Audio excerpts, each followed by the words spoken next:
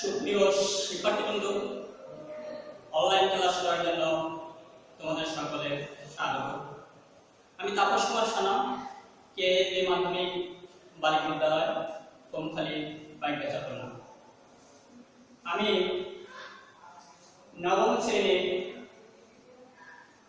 বাংলা প্রথম পত্রের ক্লাস দিতে যাচ্ছি। তো আজকের একটি তোমাদেরকে কবিতা পড়াবো। কবিতাটির নাম কপোতাক্ষরা আজকের পাঠদানের বিষয় কপোতাক্ষরা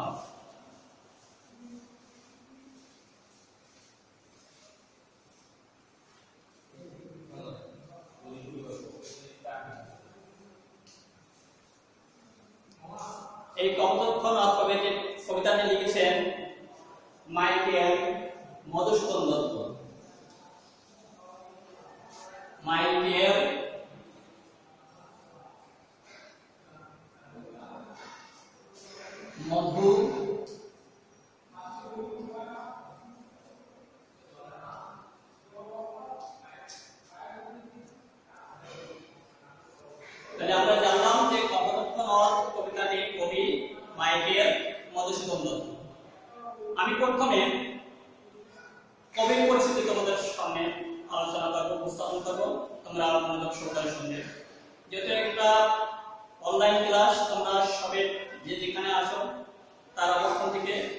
মনোযোগ সহকারে শুনবে। তাহলে তোমাদের উপকার উপকার হবে। সকলে উপকৃত হবে। যা মাইকেল মধুসূদন দত্ত আঠারোশো চব্বিশ খ্রিস্টাব্দে পঁচিশে জানুয়ারি যশোর জেলার কেশবপুর থানাধীন সাগরদারি গ্রামে জন্মগ্রহণ করেন। তার পিতার নাম মহামতি মুন্সি রামনারায়ণ দত্ত মায়ের নাম জাহ্নবী দেবী তিনি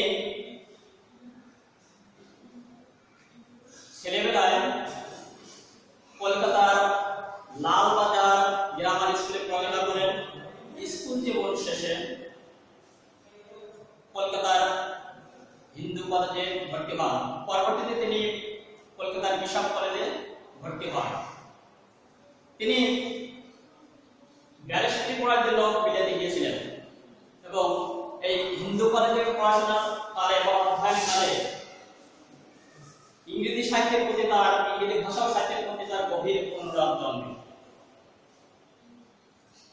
আঠারোশো বিয়াল্লিশ খ্রিস্টাব্দে, আঠারোশো বিয়াল্লিশ খ্রিস্টাব্দে তিনি খ্রিস্টান ধর্মে দীক্ষিত হন।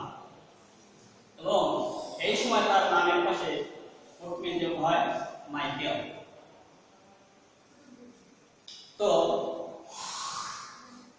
পাশ্চাত্য জীবন যাপনের প্রতি জীবন যাপনের প্রতি গভীর অনুরাগ। পাশ্চাত্য জীবন যাপনের প্রতি গভীর অনুরাগ এবং ইংরেজি ভাষা সাহিত্যের প্রতি তীব্র আবেগ, তাকে মূলত ইংরেজি ভাষায় সাহিত্য রচনায় উদ্বুদ্ধ করেছিল। পরবর্তীকালে জীবনের বিচিত্র, কষ্টকর অভিজ্ঞতা তার গুরু দিয়েছিল বাংলা ভাষায় সাহিত্য রচনার মধ্য দিয়ে তার যে- তার কবির প্রতিভার যথার্থ স্ফূর্তি ঘটে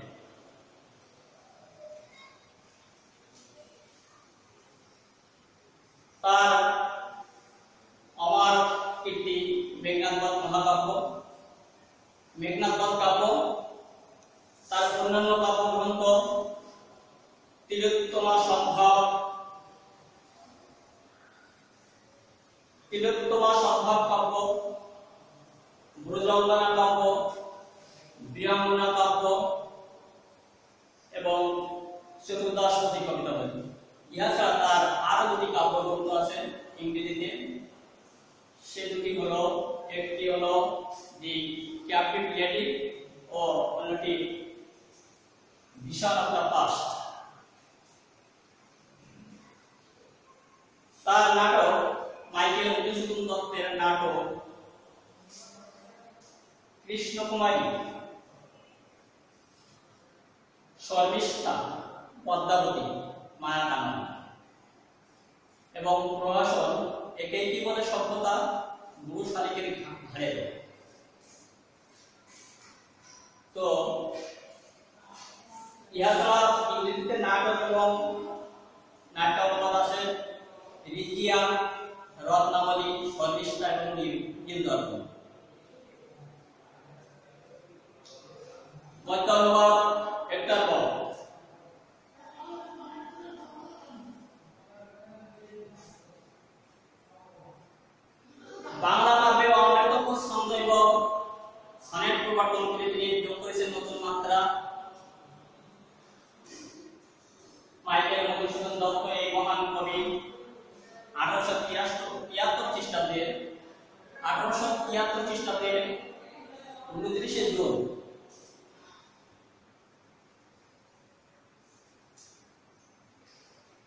পরলোকগমন করেন।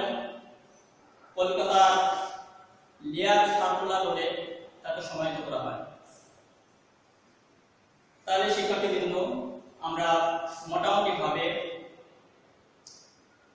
মাইকেল মধুসূদন দত্তের, আমাদের মহান কবি মাইকেল মধুসূদন দত্তের পরিচিতি জানলাম, যার জন্ম হয়েছিল আঠারোশো চব্বিশ খ্রিস্টাব্দের পঁচিশে জানুয়ারি এবং মৃত্যু হয়েছে আঠারোশো তিয়াত্তর খ্রিস্টাব্দের উনত্রিশে জুন যাই হোক, এবার আমি অন্তত্বনাথ কবিতাটি পাঠ করে শোনাবো। তোমরা মনোযোগ সহকারে শুনবে। শতক হেন তুমি পরমর মনে শতক তোমারই কথা ভাবিয়ে বিরলে শতক জীবনী লোক নিসারে স্বপ্নে, শোনে মায়া মন্ত্র ধ্বনি কর বলে জুড়ায়ে গান বহু দেশে দেখতে আছে বহু নদ কিন্তু এ সিনের তৃষ্ণা মিটিকার জলে দুঃখ স্রোত রূপে তুমি জন্মভূমি স্থানে আর কি হবে দেখা যতদিন যাবে পূজার পেরার সাগরে দিতে বাড়ির উপর তুমি এমনতে গাবে বঙ্গস্থলের গানে সকা সকালিতে নাম তার এ প্রবাস নদী প্রেম ভাবে রয়েছে যে তব না বঙ্গের সঙ্গীতে। সুপ্রিয় শিক্ষার্থীবৃন্দ আশা করি কবি- কবিতাটি তোমরা মনোযোগ সহকারে শুনেছ। তো আমরা জানি বা তোমাদের দৃষ্টিগোচরের জন্য আমি তোমাদের দৃষ্টি আকর্ষণ করছি। কপতক্ষ নদ আমরা জানি যে মাইকেল মধুসূদন দত্তের চতুর্দশ পদী কবিতা। এই যে কবিতাটি আমি পাঠ করলাম, এই কবিতার আমি শব্দার্থ টিকা লিখছি শব্দার্থ শব্দার্থ টিকা।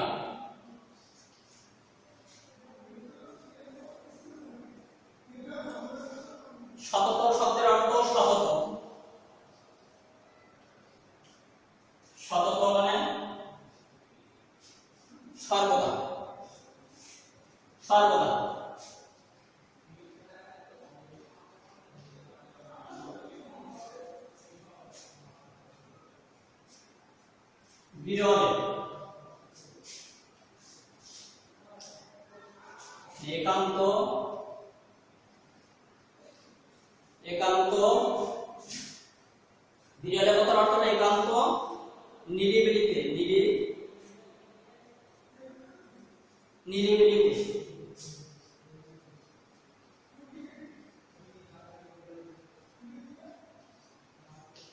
একান্ত নিরিবিলিতে।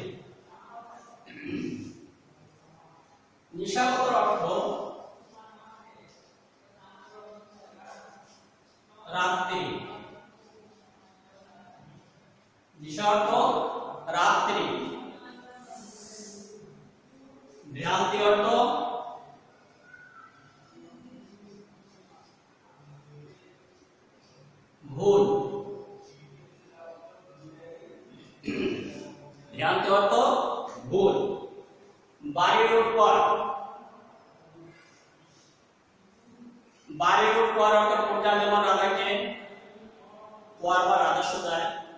তেমনি কপতক্ষ নদ সাগরকে জল রোধ করবার আদর্শ দেয়। আর চতুর্দশ শতী কবিতা অর্থ চতুর্দশ শতী কবিতা অর্থ ইংরেজিতে বলে সনেট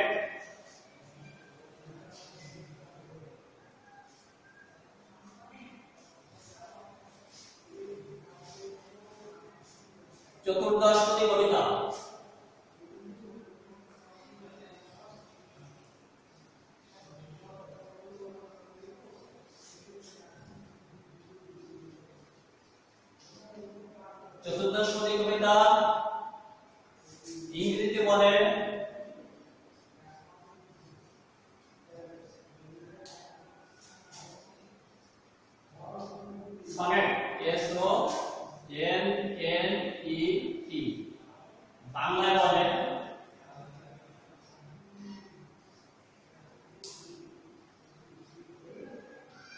বাংলায়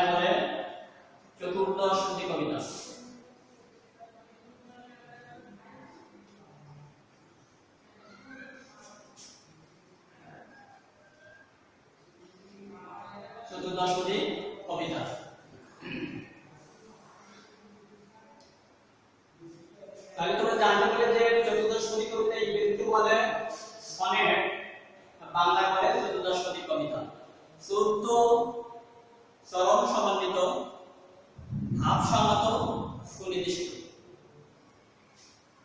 এই চতুর্দশপদী কবিতার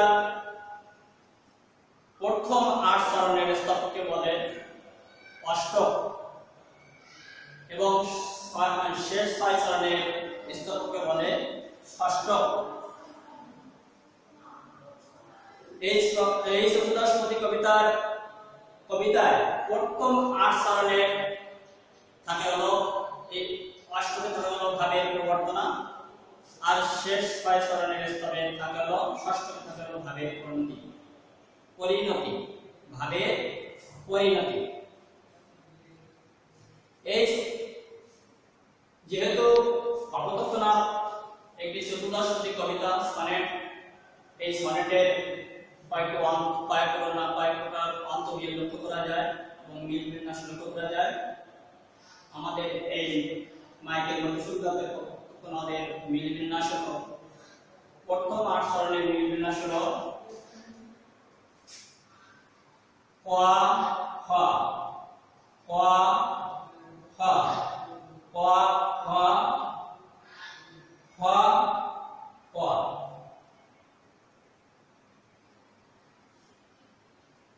অষ্টকের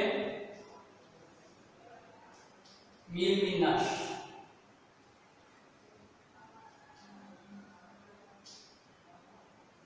ষষ্ঠকের মিল বিন্যাস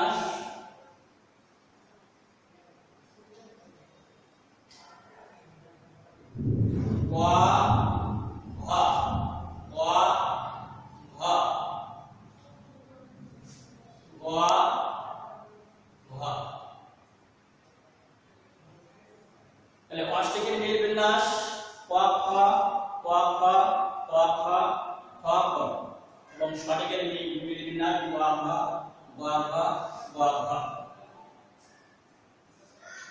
তো,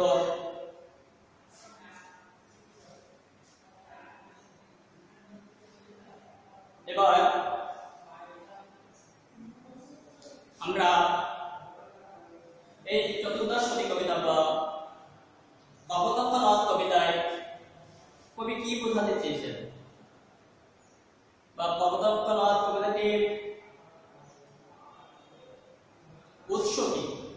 সেটাই আমরা প্রথমে জানব যে অবতক্ষনাথ কবিতাটির উৎস কি? অবতক্ষনাথ কবিতাটির কবির চতুর্দশপদী কবিতাবলী কাব্যগ্রন্থ থেকে সংগৃহীত হয়েছে এবং এই কবিতাটি পাঠের মাধ্যমে শিক্ষার্থীরা স্বদেশের গুরুত্ব উপলব্ধি করতে পারবে এবং শিক্ষার্থীদের মনে স্বদেশ প্রেম জাগ্রত হবে। তো আমি এবার কবিতাটির মূল ভাব তোমাদের মাঝে উপস্থাপন করব, তোমরা সহকারে শোনো। কবির কবিতা বলে থেকে হয়েছে। এই কবিতায় কবির স্মৃতি কাতরতার আবরণে তার অন্তর্জাল গভীর দেশ প্রেম প্রকাশ করেছে। কবি যশোর জেলার কপোতক্ষ নদের তীরে সাগরতারি গ্রামে জন্মগ্রহণ করেন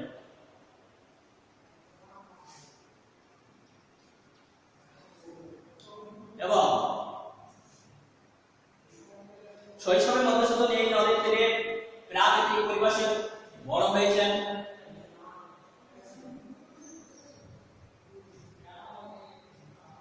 যখন তিনি ফ্রান্সের যখন তিনি ফ্রান্সের ভাষায় জগতে অবস্থান করছিলেন তখন জন্মভূমির শৈশব কৈশোরের স্মৃতি, তার মনে লাগিয়েছে কাতরতা তিনি বহু দেশে বহু নদ দেখেছেন, কিন্তু জন্মভূমির এই নদ তাকে মায়ের স্নেহতে দেখেছে তিনি কোনো মতেই এই নদকে ভুলতে পারছেন না।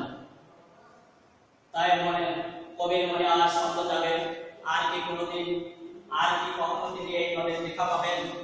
তাই কবির কাছে তার সকল মিনতি তিনি যেন তিনি যেমন বন্ধু ভাবে সিনেমা তাকে স্মরণ করেন একই ভাবে কবতাপনার যেন প্রেম ভাবে কবিকে স্মরণ করেন।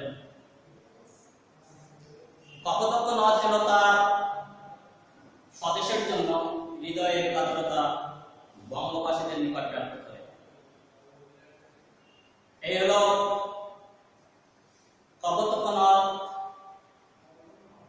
চতুর্দশপতি কবিতার মূল কথা, মূল ভাব, আশা করি তোমরা শিখতে পেরেছ, বুঝতে পেরেছ। তো প্রিয় শিক্ষার্থীবৃন্দ, ভালো থাকো, সুন্দর থাকো তোমাদের সুস্বাস্থ্য কামনা করে আজ এখানে শেষ সকলকে ধন্যবাদ।